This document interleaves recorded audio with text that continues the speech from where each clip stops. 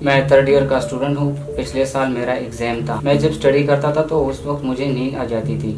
پھر ایک دوست نے مجھے مشورہ دیا کہ یہ ٹرائی کرو۔ اس وقت مجھے یہ پتہ نہیں تھا کہ یہ کیا چیز ہے، لیکن جب میں نے ٹرائی کیا تو پھر مجھے پتہ چلا کہ یہ آئز ہیں۔ اور پھر یہ کرتے کرتے میں اس کا عادی بن گیا۔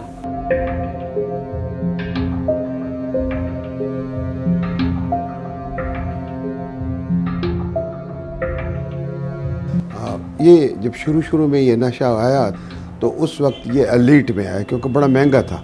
اس وقت یہ آٹھ نو ہزار روپے کا گرام ہوتا تھا۔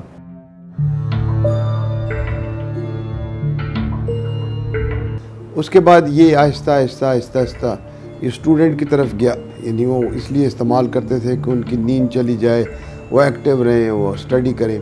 پھر پارٹی کا نشہ بن گیا یہاں پر۔ میرا خیال میں اس وقت ٹین تھاؤزنڈ سے زیادہ پشاور میں ہوں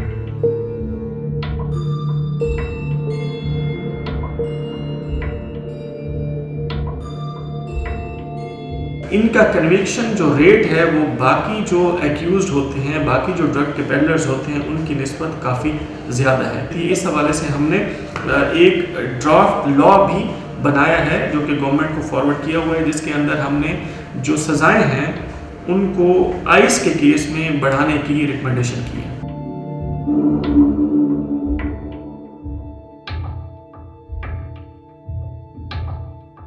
جب آپ وہ نشہ افورڈ نہیں کر سکتے ہیں، تو آپ پھر کرائم کی طرف جاتے ہیں، جو کہ کرائم اگینسٹ پراپرٹی یا سنیچنگز کی طرف جائیں گے رابریز کی طرف جائیں گے ڈکارٹیز کی طرف جائیں گے، تو وہ امپیکٹ اس نشے کی صورت میں بھی دیکھنے کو مل رہا ہے۔